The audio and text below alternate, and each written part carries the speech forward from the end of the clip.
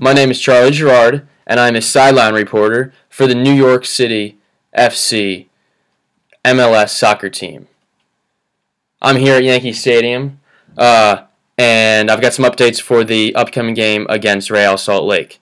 Uh, the date is July 14th, 2015, and it's a special date for the uh, the fans of the inaugural franchise because today is the day that their beloved Frank Lampard makes his first appearance.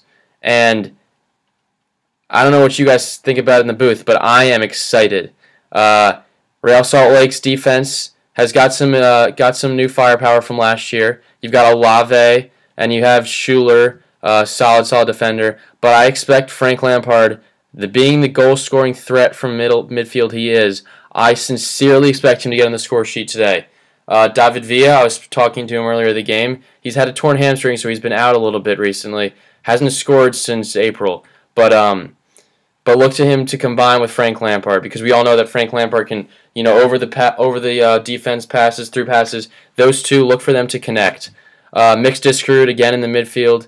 Uh, he's he's you know he's he's he's got great work rates. Expect him to be everywhere. Uh, on the other side of the pitch, uh, Saborio, great Costa Rican forward. You Joao Plata. So look for that dual threat up top.